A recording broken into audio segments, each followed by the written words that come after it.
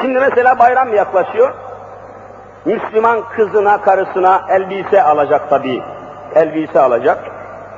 Elbise alırken Kur'an ahkamına uygun olarak alması lazım. Yani Allah'ın emrine uygun elbise. Allah'ın emrine uygun bir elbise, bayramlık alması lazım. Yani Allah'ın emri var mı? Var ya. Kur'an-ı Mübin'in Nur suresinin 31. ayetinde Müslüman hanımefendilerin, kızların, kadınlarının nasıl elbise giyeceğini Allah tarif ediyor. Başkasının izahına bırakmamış. Öyle bir elbise giydireceksin ki elleri ve yüzü müstesna bütün vücudu tepeden tırnağa örtülecek. Aşık kemiklerine kadar uzun olacak. Aşık kemiğinden yukarısı, bacağının kalıbı, biçimi görünmeyecek. İsterse kalın çorap giysin, isterse ince çorap giysin, hiç fark etmez. Bacağının kalıbı, kılıfı, bir kılıcın kını gibi aynen görünüyorsa Allah katında çıplak hükmündedir. Örtünecek. Elleri ve yüzü müstesna, baştan ayağa vücudunun hatları, belinin kemeri, göğsü, kalçası vesairesi belli olmayacak şekilde yukarıdan aşağı bir elbise olacak. Allah'ın emrini söylüyorum. Vallahi Nur suresi 31. ayeti buna amirdir. Emrediyor. Bu emre uygun hareket. Allah'ın emrine uygun hareket edeceksin.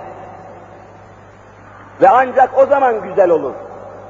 Allah'ın emrine uygun hareket ettiğin zaman işin güzel olur, amelin salih olur. Helal olur, temiz olur, güzel olur. O zaman güzel dersin. Aa ne güzel elbise. Hah yerini. Allah'ın emrine ve hudutlarına uyuyor mu bu elbise? Ona güzel de korkma. Ne güzel elbise. Ne güzel yakışmış.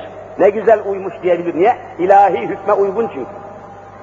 Ama öyle bir elbise giydirmişsin ki kızına, karına, öyle bir elbise giydirmişsin ki, gerdanlığı meydanda, boynunun kökü görünüyor, kulakları, saçı me meydanda, diz kapağından aşağısı meydanda, kolları açık. Ama efendim şu kadar pahalı, şu kadar kıymetli bir elbise olsun. Allah'ın sınırlarına uymayan şu elbiseyi giydirdikten sonra kenara çekilip de o ne güzel olmuş, ne güzel yakışmış diye bir kelime söylese, dört mezhebe göre bu kelimeyi söyleyen Müslümansa derhal kafir olur diyor alimler. Çünkü Allah'ın haram dediği bu ne güzeldir. Allah'ın haram ettiği şeye o ne güzel ne güzel diyor. Bu kelime haram yerde kullanılamaz.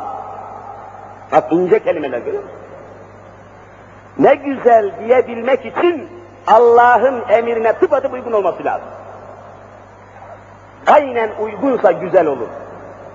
Hani hüsün kubühme, bu İslam, İslami kaynaklarda o kadar geniş izah edilmiş ki, hepsini anlatsam zaman diye bir şey kalmaz burada.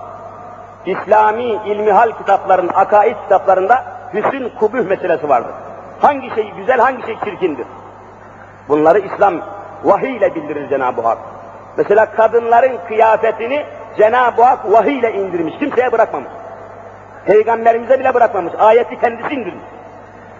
Allah'ın indirdiği ayete göre elbise giymeyen bir kadının kıyafetine ne güzel, o ne hoş yakışmış dese, vallahi kafir olur Müslüman diyor.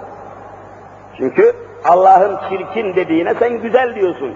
Allah'ın yasak ettiğine ne güzel diyorsun. Allah'ın haram ettiğine ne kadar güzel yakışmış diyorsun. Yakışmaz. Müslüman hanımına Allah'ın emri yakışır. Avrupa yakışmaz. Bu kelimelere dikkat ediniz.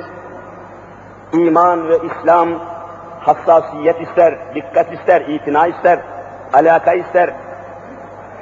Çok hassas noktaları var bu işin yani. Geçelim bunları. Kısa bir izahtan, girişten sonra geçiyoruz. Evet. Ramazan-ı Şerif